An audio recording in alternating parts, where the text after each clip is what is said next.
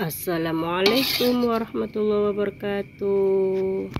Berjumpa kembali bersama Melani Putri. Melani Putri kali ini mau bikin tempe penyet ya. Nah ini cabenya. Cabenya digoreng dulu ya. Ada cabai hijau rawit Ada tomat, ada bawang putih Ya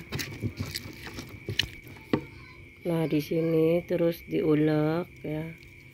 Sampai lembut, sampai halus.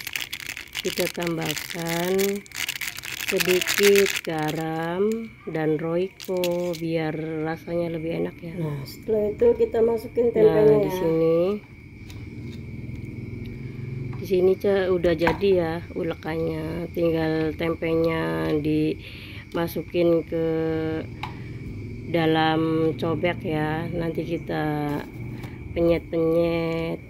Kita, tempenya di sini udah matang ya. Udah digoreng.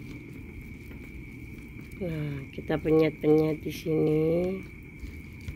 Sampai agak lembut tapi jangan terlalu lembut-lembut ya.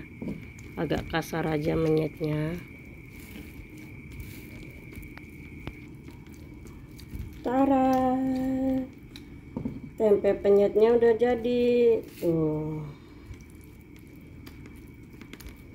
Tinggal makan ya. Tuh udah jadi. Enak dimakan pakai nasi anget selamat mencoba